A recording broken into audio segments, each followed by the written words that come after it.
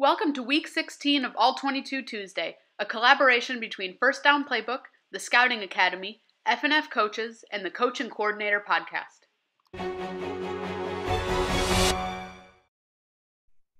On this week's All 22 Tuesday, we want to take a look at again uh, play from this last week's game where the Washington football team is playing the Carolina Panthers.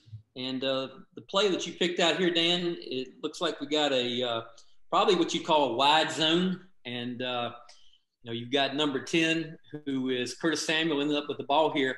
The thing schematically that I, I that jumped out at me is um, in, in a, a, couple plays uh, that I looked at, you know, offenses, particularly in the NFL, do such a great job with personnel. And they, they get this thing matched up right here to where the receiver, number 12, does a good job with blocking the most dangerous man at the point of attack and uh, ends up blocking the nickel. in 23, ended up having to make a tackle, as we're going to see here shortly. Not very successful, but I'll let you take it from here and talk a little bit about uh, the background on this ball carrier.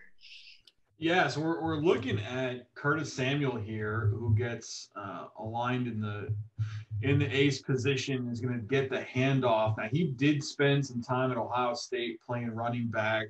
Uh, he's been primarily a wide receiver in his NFL tenure, but that versatility they put on display here. And so when they bring this motion across and they set him up uh, for this little weak side play, it really stood out to me the athletic ability for the speed to the corner and then his ability in the open field. Now, as we watch him get to the corner, I do want to give an Academy Award nomination to number 91, Ryan Kerrigan, looking for the hold there on the edge. Excellent job, Ryan. Veteran move, looking for the flag, but uh, he was not in position to get out there for Curtis. And so we're going to see Curtis get to and turn the corner.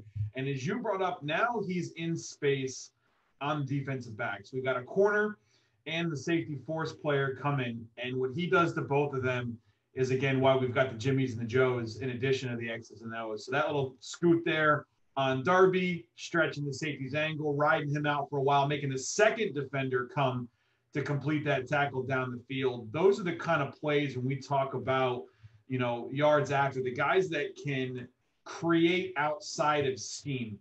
So that he was put in a good position.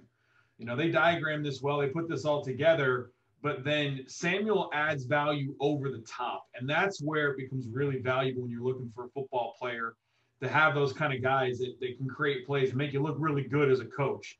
And Samuel does a great job here of making them look good.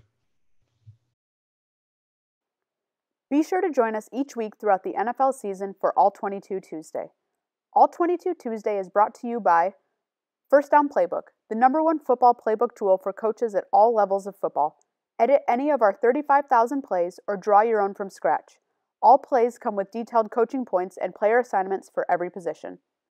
Keith Grabowski is the host of Coach and Coordinator podcast. He interviews the most knowledgeable head coaches, coordinators, and position coaches from professional, college, and high school football.